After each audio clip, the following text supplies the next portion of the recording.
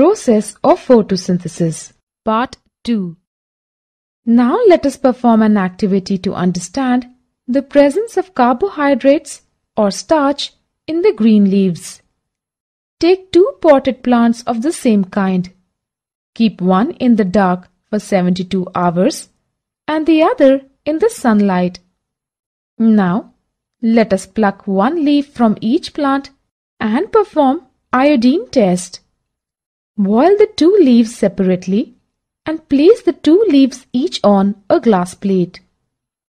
Now add a few drops of iodine on each leaf.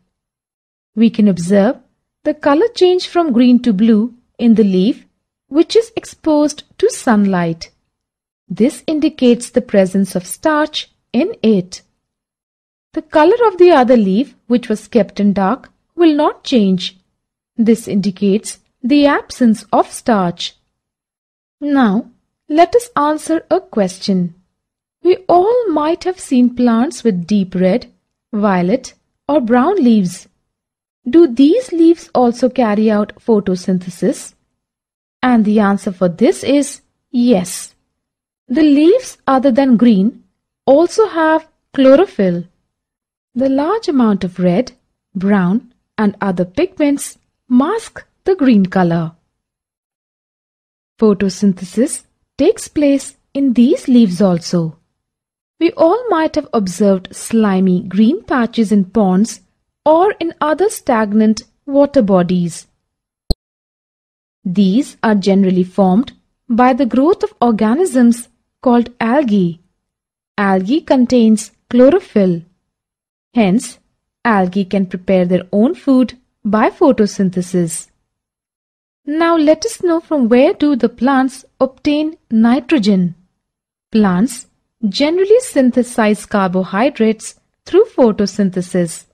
The carbohydrates are made of carbon, hydrogen and oxygen. These are used to synthesize other components of food.